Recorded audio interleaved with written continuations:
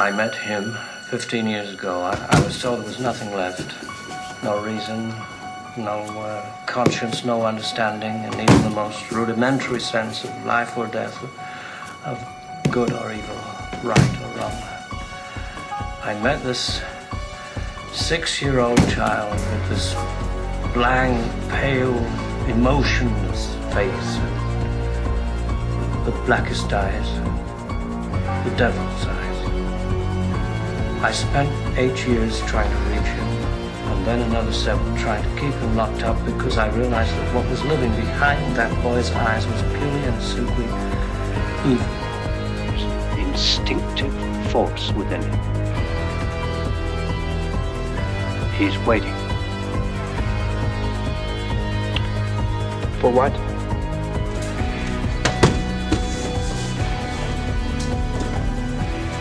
I don't know.